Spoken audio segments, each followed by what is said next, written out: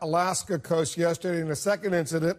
Canadian planes intercepted two Russian bombers that approached a Canadian airspace. Uh, NORAD says the, the Russian planes never entered U.S. or Canadian airspace. But how serious of an incident is this?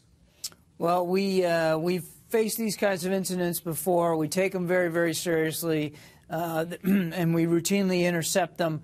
Uh, we'll make our uh, our intentions known and uh, to to uh, to, Russia, to, to, Russia as we always do, and we'll certainly uh, discuss our concerns with them at the appropriate time and in the appropriate venue.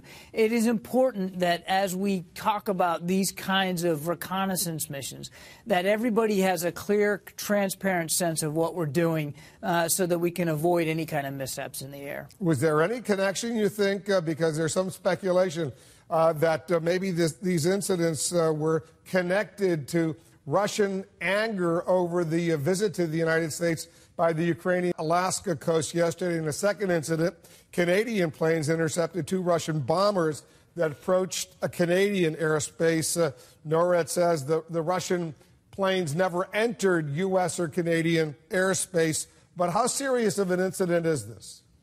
Well, we, uh, we've faced these kinds of incidents before. We take them very, very seriously, uh, and we routinely intercept them.